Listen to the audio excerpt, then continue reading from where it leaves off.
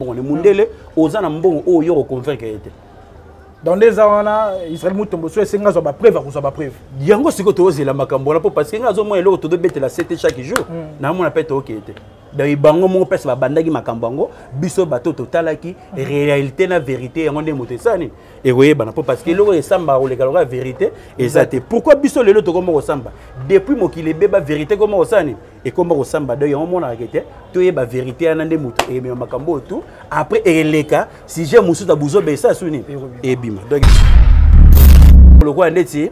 martyre bazwi idee ya kosala lokola paye du peuple batongi bapo maréchal oyo atiki biso yango wana après bobutu nani akosala continuité mpo parce que mboka ezalaka chaque mandat il faut kopousse mboka il faut kotya savoir mboka ekende mosika mais biso toujours omona kaka ke te tozonga nsima mpo parce que tosepela na mboka yango te mais tosepela na mone ya mboka oyo oh, ovanda be motu soki ete dollar emati ngai yabi oske ekomi kombe 115 dollar yango bakomi 115 dollar rien franc congolais nde moto atomata dollar abujaka te est ce que ebakisaka ba zero soki emati ekomaka na poyana te donc tozongaka na sujet ke te makambo oyo biso tolinga tosalaka oyo oyo ekoaboutir bato toujours vérité nde moto yango moto esani mm. oke nango na ana mongo dakiseke wana bokendaka so na musique yango su bongo te donc edepende kaka na ye soki arépondre eye soki arépondre te eye mais soki aza moto oyo humanisme eza na ye arépondre wana sikoyo tozosolola sikoyo mpo parce que makambo yango eleki kaka wana mhm. esukela toujours wana yango omonaka ete tomiyeba mpo biso biso eno tu totalaki mhm. ntango bayaki wana mese gautier se na mese manix mhm. bayaki lokola baporte parole ya baorchestre te bayaki lokola bapanzi sango bazotalisa eh, yo hmm. oyo azokumisa fali oyo azokumisa feri donc il faut tozala bazoba te toabata mayele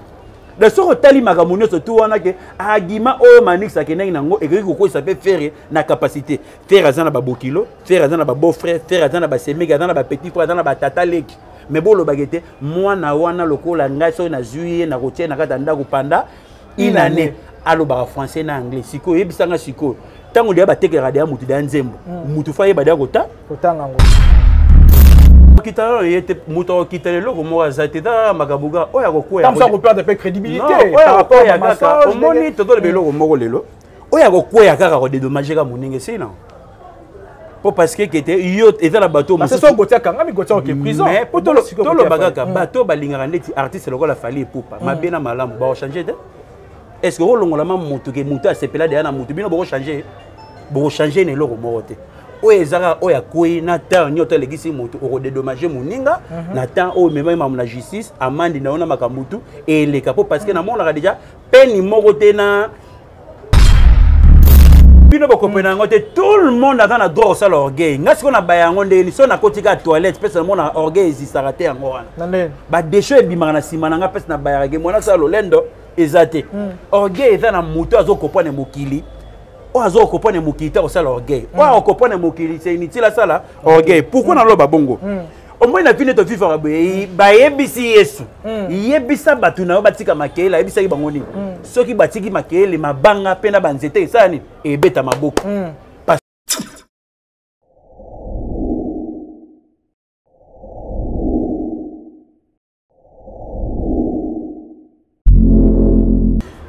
Voilà, bonjour tout le monde, bonjour chers internautes, vous qui nous suivez sur Équilibre Télévision, c'est bien moi, les vôtres, Kevin Mohamed Saïdi, ça a toujours été un réel plaisir pour moi de vous avoir tellement nombreux qui nous suivent en net. Merci à nos fidèles partenaires, merci na bandeko nyos bazuli bagwa kolanda biso mokona lelo bandeko bakozwa pe euh, mbana na bango ya liboso ya kolanda biso tozalaki awa pe to pe tozali awa mpo na koinforme kodivertir mpe kosala ete bino bozwaka mpenza bainformation ezalaka vrai mpe verifiable déjà tozali liboso na bino mpo na kolobela bino mpenza masolo ezali déjà sur la toile oyo ezali masolo ezali kosala mwa mpasi mingi déjà euh, l'affaire gautier sei oyo ezalaki déjà renvoyé pour la date ya le 19 prochain tokozala wana mpenza mpo na koyeba kolandela ndenge makambo ekotambola mpo na affaire yango mais tomonaki mpe video lobi ndenge euh, monsieur israel mutombo qui est un journaliste d'investigation azalaki na kati ya vivendi tokosola mpena masolo ebele na kati awa donc ya boire ya manger na kati ya émission yango nde tokomema yango na lolenge moko ya bongo déjà comme invité je dois recevoir pour vous koni star invité maison moko ya bandeko to bayaya oyo toyambaka de temps autre na baémission na biso mpona kodécrypte mpenza oyo ezalaka masolo oyo ezalaka na ndenge ya miziki na biso nde tokosola mpenza bongo déjà il est là à ma droite oyo nakoki kobanda déjà bonjour koni star bonjour kevin mohamed mohamed ya bakevin toujours na ndenge ekendaka toujours na ndenge malako uh mhm. -huh. na cadre ya ndenge guide marabout donc okay. nzambe apesaka biso toujours sucre de vie tozalaka toujours babénéficiaire mm. ekenda bato etikala toujours bato clarisse de canto clarisse lutadila natali lutadila amigo je lutadila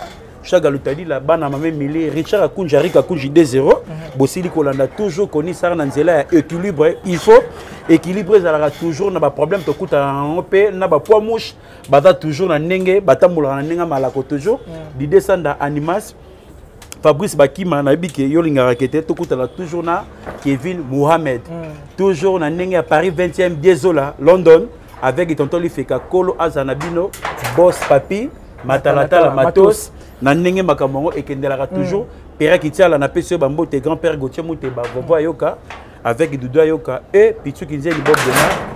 merci beaucoup boni non santé liboso santé eza toujours super formidable na ndenge ekendaka toujours ekenda bato mm. etikala toujours bato tolobaka toujours passer moko jour wana asekisi nga fort o ndeko konisa ngai nazotelemela bato tu esprit de mort ngai bite liwa ezali divine ndenge mpe eyelaka bato bato bayebaka te moya moto akokima yango aza te donc change évangile hmm. oyebisaka bato esprit de mort totambwaka deya na esprit de mort oyo nyonso epemaka hmm. il faut egutaka liwa ndambu ndambu hmm. omona lobi rhumatisme ebandi yo lobi miso ekomi flou donc tokendaka toujours ndambu ndambu mpo ekenda bato etikala toujours bato donc nzambe akobatela biso toujours voilà konista tokota mbala moko na mama na likambo na biso parce que israel mutombo journaliste d'investigation na kati ya vivendi nde nani journaliste ok aza deja na kati ya vivendi azokende mpe na ndenge ya snap tomonaki makambo yango ndenge ebandaki tout a commencé na plateau na ye elelo ye mpe kaka ndenge atranche na affaire yango déjà point de vue par rapport déjà bainvestigation ezali mutombo azosala lelo est ce que cause moko ekozala mpenza normal Euh, kevin mohamed mm. omoni biso communauté congolaise lelo nakoma oregete tozalaki bata mayele lelo tokoma bazoba mpo na nini tozwi deja mutu na biso totie na libumu libumu totie na mu na mutu yango totambola na berere 2d tozwa cerveau na biso na mutu na biso totika deja na sikata cimetière nzoto na biso apamba ekomi koyengayenga na kati ya mokili okay. mais réflexion na makanisi na biso ezalaka deja na kunda na lili na lilita donc tosala tout todetere bacerveau na biso toyeba ndenge nini mokili ezokota kotambola donc tozokokweya toujours na kati ya berere hmm. na émission wana tozomona déjà ke te deux journalistes eh, baye kosala baintervention na deux orchestres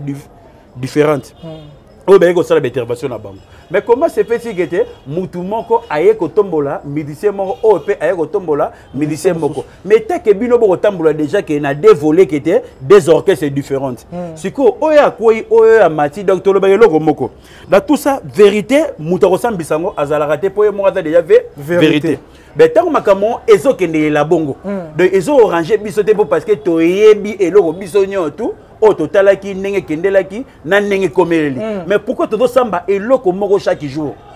chaque jour tozolamukela eloko moko deja oyo si basambelaki yango oyo babimaki lokola ndeti bayaki na poso ya baporte parole mm. oyo ayeki azo défendre ferre oyo ayeki kodéfendre mm. fali mais ti ekomi na point oyo tokoma ti na batribunal na bajustice vraiment ezo orange bato te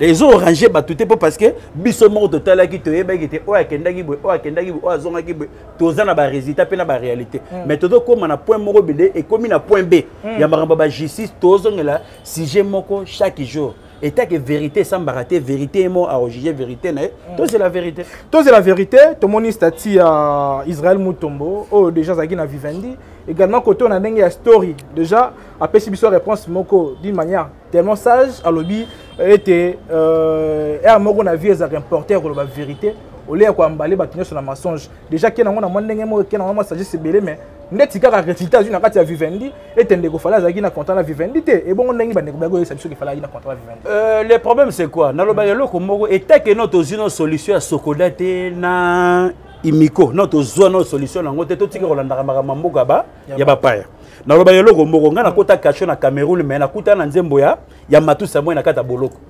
nzembo nayebi te eh, soki batiela yango wana ezalaka je crois na 2003 hmm. e na mboka mopaya e donc totepelaka to na mboka mopaya par rapport na mboka na biso nzoka nde fo tolandelaka masokoda hmm.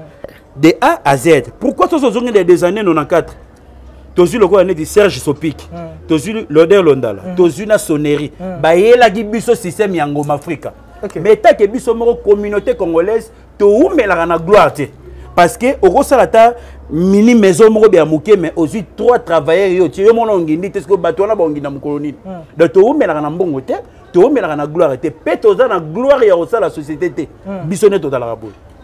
exemple est typique soki oke kaka na maison ya avenue victoire mm. bapièce de rechange okomona kaka banigéria na banigéria ata ya biso toza te biso toza toujours bakepere mm. mpo na nini tokozwa 2 millions de dollar osomi ndako ya 1 million 500 oyo ekoaboutir yo na rien oyo yeke epesa yo mbongo teka mpo na kolala mm. ndako ya 1 million 500 mm. mais sikoyo ntango yo osalaka nde tike te izini oyo eyeteka ata mai mai oyo apamba oyo mpo moto asalaka mai aza te mm. oye na baproduit oyo elongolaka microbe apres oye na babidon na yo oye na makambo na yo société ebandi oyebi ke soki na m yo osengisa budget mpo osala kaka société oyo ezalaka mpo na eau pure hmm. oyebi ke oganye combien mais soki ozwi mbongo na yo 1 million 500 otie kaka mpo na ndako bato balala yebanga siko okosala sikoyo ni lobi fo kufa mobola donc toza na gloire oyo towumelaka na makambo ebele te donc da tout ça nga na biloko oyo nyonso tu soki olingi kaka na mokili olekaka bato toujours enomemo na ba erreur biso tozalaka na ut parade na biso moko ezalaka toujours bido otali ke jo moko bafandaka na bandal jo moko bafandaka na macampagne jo moko bafandaka na, na delvo jo moko bafandaka quelque part bino moko bosalaka baanalyse moko bosala mpe it parade na bino moko be mm. oyo oh, leta ayebi yango te ezalaka kaka intimidation totale na ndenge ya bareseau sociaux na ndenge ya bacheur internaute donc ekendelaka kaka bongo donc to prendre conscience na makambo na biso ngai lelo nalamuki naye komonaka ete mobutu akanga motu moko te on lemain na kati ya mboka oyo oh, mobutu apesi bato éducation seri biso toza kokola tozomona classe makambo nini oyo tozokende très bien oh, lelo olamuki mpa na bino oke kolia mpa baninga mpa na bino mpe biloko eza mobutu atikaka biso bien mai ntango nalali lalamuki naye komonaka ete mese ya mobutu eleki na kati ya kinshasa na ndenge ya limemia mai mm. bozo kobosanaka ete mobutu bayokani na roi à l'époque asani de mpo bazwa ide ya kosala lokola eloko lokola ndeti martyr bazwi ide ya kosala lokola paye dipeple batongi bapo maréchal oyo atiki biso yango wana apres bobutu nani akosala continuité mpo parce que mboka ezalaka chaque mandat il faut kopousse mboka il faut kotya savoir mboka ekende mosika mais biso toujours omona kaka ke te tozonga nsima mpo parce que tosepela na mboka yango te mais tosepela na mone ya mboka oyo kovanda be motu soki soki ete dollar emati ngai abi oske ekomi combien 115 dollar yango bakomi 115 dollar rien franc congolais nde moto atomata dollar abujaka te est ce que ebakisaka ba zero soki emati ekomaka na po yana te donc tozongaka na sujet ke te makambo oyo biso tolinga tosalaka oyo oyo ekoaboutir bato toujours vérité nde moto yango moto esani mm. ezonga donc vérité nde koclarifie yango nde motu oyo tozozela nde vérité oyo ya makambo mpo parce que yo oyebi mboka wana te me ngai natambola tambola tambola bamboka to ya baréalité nde mondele amemaka mbongo nde mondele oza na mbongo oyo yo okonvaincre ye te donc nde eza wana israel mutombo so esengi azwa bapreuve akozwa bapreuve yango sikoyo tozozela makambo wana mpo parce que ngai azomona eloko tozobetela sete chaque jour hmm. namona mpe tookeye te donc bango moko mpesa babandaki makambo yango biso bato totalaki réalité na vérité yango nde moto esala nini ekoyebana mpo parce que eloko esambaka koleka lokola verité eza te pourquoi biso lelo tokoma kosamba depuis mokili ebeba verité ekoma kosala nini ekoma kosamba donc yango omonaka ke te toyeba verité yana nde moto emema makambo oyo tout après eleka sujet mosusu ya buzoba esa su nini ebima donc voilà konista s'il faut rester là euh, totelema ndeti na makambo etali verité soki lelo verité ebimi ete l'artiste fali par rapport à ba propos oyo ndeko na biso gotisi atenaki eke makambo na ye ezalaki mpenza na ligne moko normale eke fali akosa bato ndenge euh, ndeko gotisi alobaki est ce que ekozala mpe moko ya biloko ekoki kokitisa artiste fali popa moto akokita lelo ye te moto akokita eloko moko aza te tala makambo kaka oyo akokweyaaoperde mpe crédibilité oyo akokweyakaka omoni totoloba eloko moko lelo oyo akokweya kaka kodedomage kaka moninga esili nango po parce que kete yo eza na bato toloba kaka bato balingaka ndeti artiste lokola fali epupa mm. mabe na malamu bakochange te est ce que okolongolama motu ke motu asepela deya na motu bino bokochange bokochange na eloko moko te oyo ezaka oyo akwei na temps nyoto alekisi motu okodedomage moninga mhm. na temps oyo omemaki mamu na justice amandi na yo na makambo tu eleka mpo parce que namonaka deja peni moko te na na déclaration moko te oyo te mpa balipa l'état ou soit mpa nani ezwaka 12 ans 13 ans eyalaka te hmm. eloko nyonso to ebandaka na ebandeli mpe ezalaka mpe na suka nango da toluka te ke midi ya 14 heure tokende be tozongisa be eloko nyonso tu eyeleka nango c'est bien moi votre frère le pasteur israël Nash, je vous salue au nom de Jésus. Je suis précisément à Kinshasa. Naza responsable ya Ophelina. Jésus est mon papa. naye liboso na bino mpo na kopresente bino bana oyo bozomona na bilili mpe badifficulté toza nango nabandaki mosala oyo ça fait longtemps ya kobokola bana selon ainsi du l'éternel mais badifficulté eza mingi difficulté ya loyer parce que tozofutela epuis difficulté ya kofutela bana minerval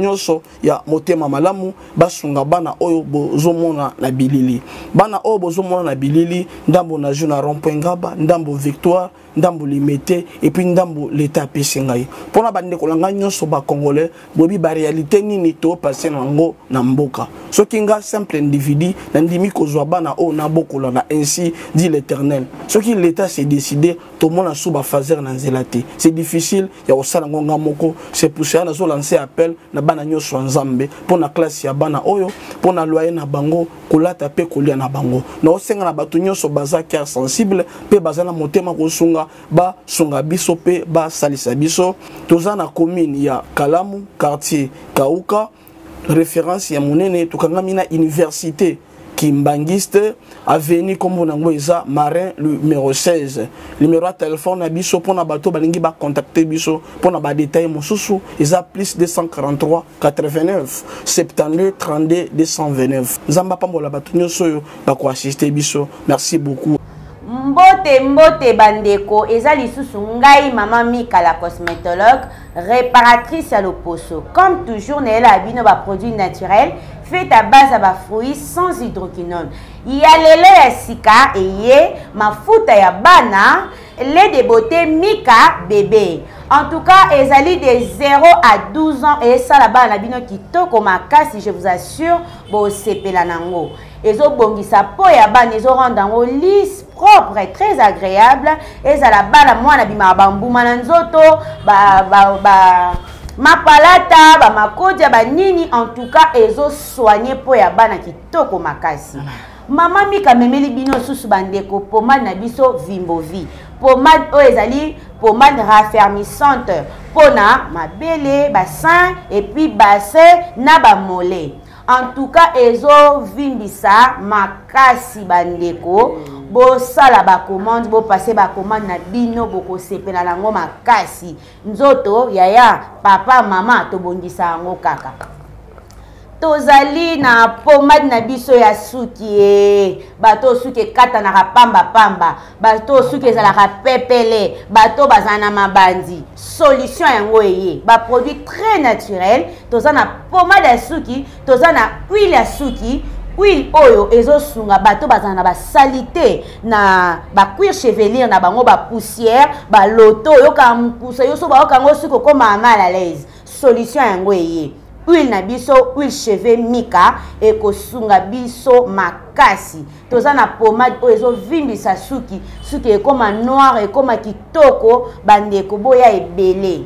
tozali na crème na biso te metisi mpo na basi ya pembe mibala pembe bandeko na nga ekosala yo bien yo mutu pembe na yo egata yaka mbangu passe commande na yo ekokomela yo tobosani te basa mwindu basa shokola mibala mwindu ya shokola crème de beauté mika yango oyo ezali mpo na bino bopase bacommande esala bino bien makasi toza na beurre de karité na biso pure bio yango eye bandeko esilaki bopase bacommande eye toza na crème réparatrice mika mpo na bato ya problème ya tampon cancer de peau barougeâtre banoir nduta solution yango eye bolia ebele toza na pomade antisola mapeka na deux jours apamba sola mapeka esili boya ebele toza na gommage café mpo na kogoma elongi oza na pomade ma bouton graisse bokima lombango gommage yango ye toza na savon noir fait à base ya café okozala très à l'aise na douche na yo boya ebele huile d'anana huile d'anana yango naturel en tout cas bokima mbango totika kotya tshoko e totika kotya tshoko bamama bapapa naloba yango aire nyonso tu toa na biso na possibilité nyonso ya koretrouve te na biso normal oui. ezala ebebaki ekomaki ndenge nini nayebisaka bino solution yango oyo solution yango oyo totika kotyaka tshoko bamafuta ezobebisa bato totika hydroquinone Numero plus 243 89 98 27 674. Notre adresse, commune à Kalamu, quartier Matonge, avenue Pozo numéro A17, référence cabine à courant. Euh, est-ce que fallait olinga mpe akomikitisa na niveau wana ke ayosala débat to mpe akosala droit de réponse na ndeko gotese naza nzambe te mpo nayeba oyo eza kati ya motema na ye parce que lelo bando batutaka fali de norgueille non orgueil bino bokopena yango te tout le monde aza na droit kosala orgueil ngai sikoyo na baya yango ndenge so nakoti kaka toilette mpesa na mona orgueil ezisaka te yango wana badesho ebimaka na nsima na ngai mpesa na bayaka ge mwana asala lolendo eza te hmm. orgueil eza na moto azokopwane mokili oyo aza okopwane mokili te akosala orgueil oyo akopwane mokili se inutile asala orgueil pourkoi naloba bongo hmm. omoni na vile tovivaka boye bayebisi yesu mm. yebisa bato na yo batika makele ayebisaki bango nini mm. soki batiki makele mabanga mpe na banzete esala nini ebeta maboko mm. parce que kete jésus christ atambolaki le 12 apôtre balali esika moko bameli esika moko mpe bali esika moko sikoyo oyebisanga sikoyo biso toleki le 12 apôtre na nini pourkui bango nyonso tu balaka te mm. mais chaque dimanche bapaster baliaka bambongo na nkombo na bango okay. eya deya évangile asongisongi mm -hmm. sara aza te bootanga nkombo na ye mpo so yo tobeta da lisolo na yo kete tozanga nao jérémi aza te totangi nkombo na ye baoloba nini tosani yango mona évangile to elekaka chaque mercredi chaque dimanche ezalaka ya songisongi hmm. parce que botanga bakombo ya bato bakufa baza na bango wana te mais bolela na kombo na bango bovivre na makambo na bango nyonso tu hmm. yango mona ngenga azalaka prudent e dépendre na ye aya ou aya te ye moko ayebi ke te invitation soko aye te ye mo moto akoyeba ndenge ekekende réponse à ces sacs bande musuba bi Christian Bosemba a triqué Fally déjà na ndenge moi logique ala mutu mo fala verrouiller mo makambo mo muke mais omoni eloko lelo soki bo beta musique pona ekolo yebaka ke te aux internationalités donc soki tolobi lelo wenge soki ezalaki kaka mpo na banda me lelo wenge ekenda mosika te donc kobulaka te keke na biso lokola neti na ngiringiri toza trop cher mpo parce que usine lokola ipak eyana kata komi na ngeyenge donc fierita ngeyengiri yango wana bandal eza wenge donc yango tomoni eke te soki wenge epasaki kaka toujours kaka toyaka mpona mabele bandal hmm. mbe bayaka kaka local hmm. mais take bakenda mosika tous les 24 commune bandima bapays voisin bareconnaitre yango yango epesa force ya wenge donc soki okende yango na ana mongo donc seke wana bokendaka so na musique yango su bongo te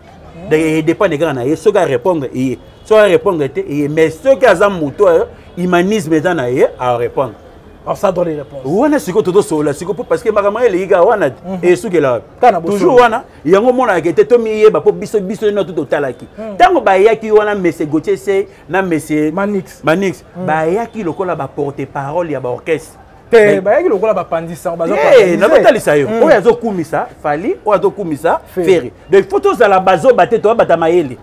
de soki otali makambo nyonso tu wana ke argument oyo manix akendaki nango ekoki kokozisa mpe fere na capacité fere aza na babokilo fere aza na babeau frère fere aza na basemeki aza na bapetit frère aza na batata leki me bolobaka ete mwana wana lokola ngai soki nazwi ye nakotia ye na kati ya ndako panda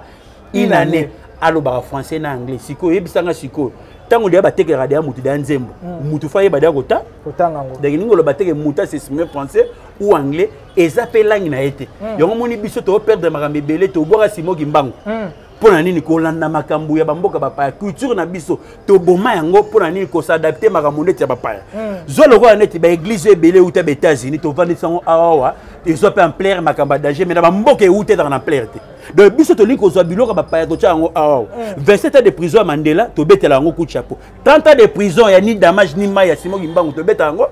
na biso tomikipaka makambo na biso te kaka ya bapaya nde tozwa yango na motu na biso mm. tolataka donc toyeba nanu touti wapi tokende wapi donc oyo eza très important yango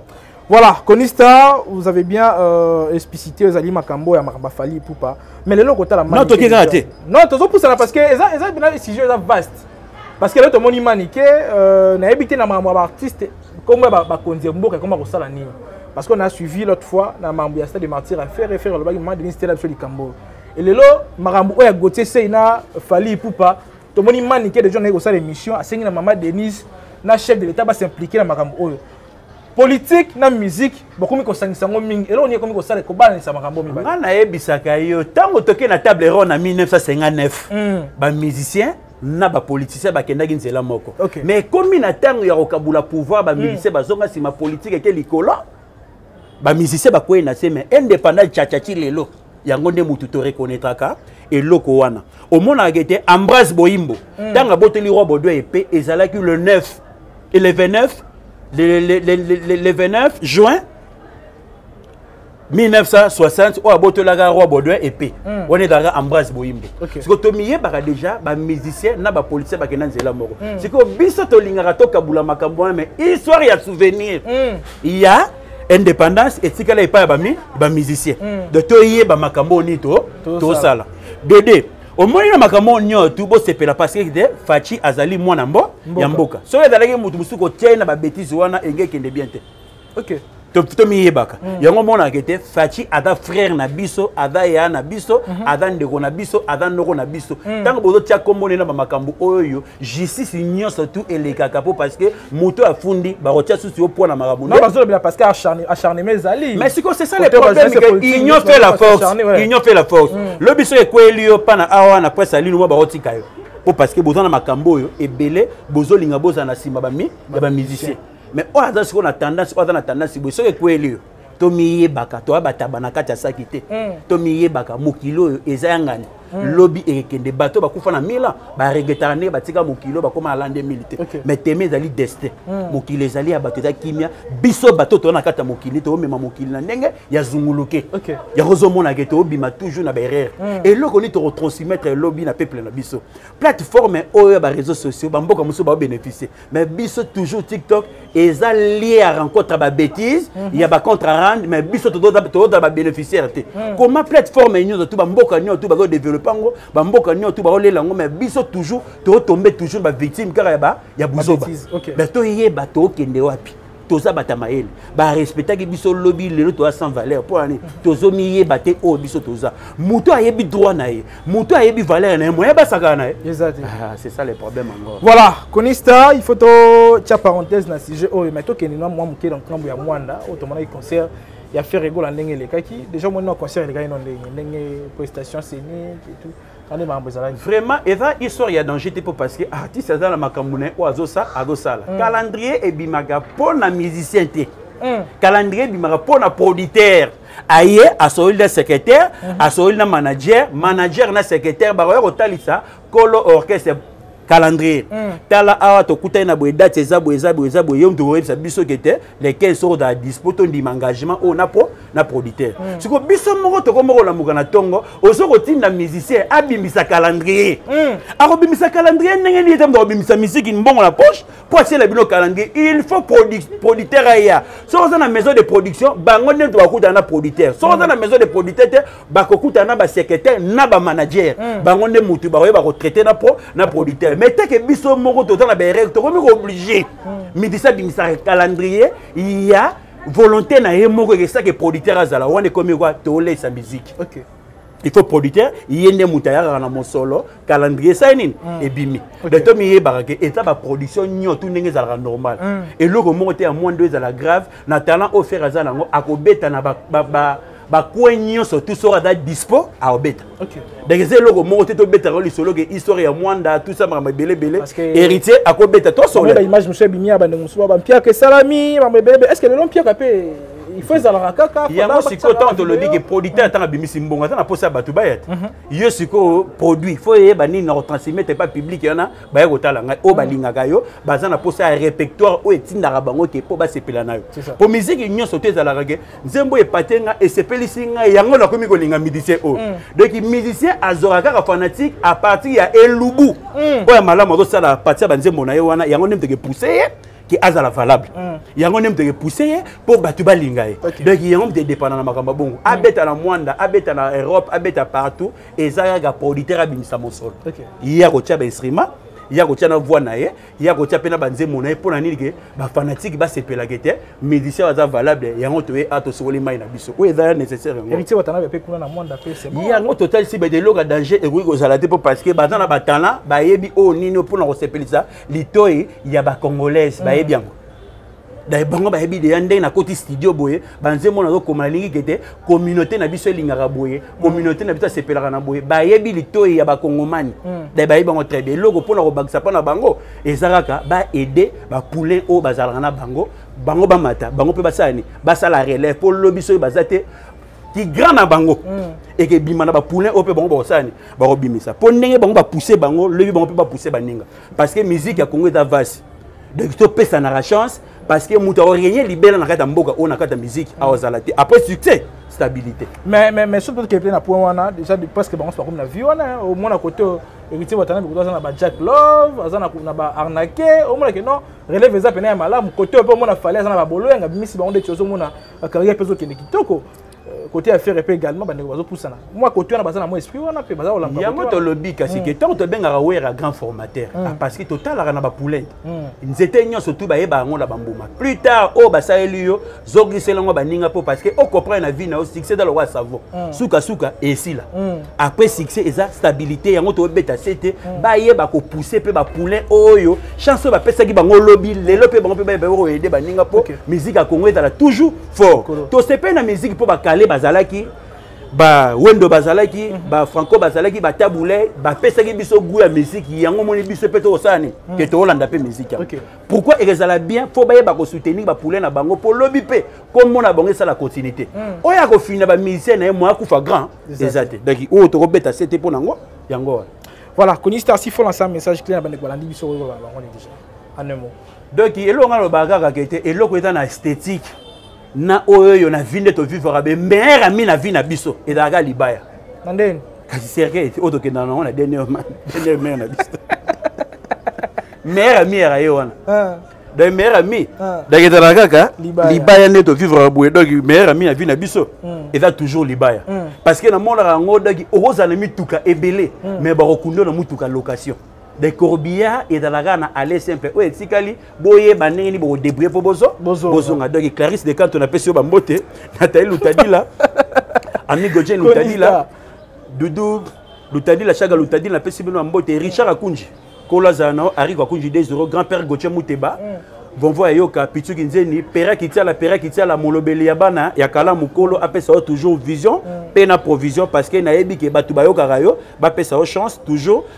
boss papi matalatala matos yaniki nia yaniki nia koyo azala na yo fabrice bakima mm. bakimi kolo azala na yo en plus eh,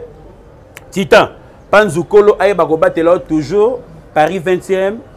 diezola london tonton lifeka kolo ayeba kobatela bino toujours konista aza toujours na bino konista asuki na ye merci beaucoup Voilà, nous étions là avec Conista, on a assez parlé, bandeko bazui temps au comprendre nini o tu as ki lokola ya kopesa bandeko lokola matière comme on peut le dire ainsi, information ndenge bo comprendre ndenge monsieur Tambole. Je dis un grand merci comme ça à toutes ces personnes qui nous ont suivi du début à la fin, bandeko ba biso pene bandeko kino na suka ba meilleurs bato na biso bango wana. Merci à Mizwa oyo azwaka penza mwa tango ya kosimba kamera te mais quand même asimbi kamera pour que bino Bozo Abelema na Bapalais. Je dis un grand merci comme ça au vice-bourgmestre de la commune de Limité, maître Isaac Mukende Chishimbi. Et puis je dois dire un grand, un grand merci également à Freddy Pindi, le monsieur qui assure la sécurité de la First Lady, donc la première dame de la République Siko Zom. Et puis je dis un grand merci une fois de plus à Richard Mouya, au potable depuis les États-Unis d'Amérique. Merci. Rofi euh, Makangila, pesa yo mbote. Rofi Makangila. Mm. Oyaka na bango boye ba pesa yo mbote. Voilà, merci na Papi Matalatala Matos. depuis na fandaki nayi kozela toujours toza wana na cadre kaka ya mosala ndenge ezalaka toujours je dis un grand merci à papi nzeza na paris christian lukulasi quatre fois père nazwaki baplan ndenge ezalaka toujours et puis comme ça nakende su mwa mbango kote ya nake kote nini déjà na kati ya ngambo nini to nazala ngambo nini bandeko nyonso balingaka mosala oyo tosalaka dans l'ensemble vraiment tozalaka na bino toza mpe kosala mosala pour ke bino bozala servi tomona ndimba na nsima avec nouveau numéro et là portez vous bien bye bye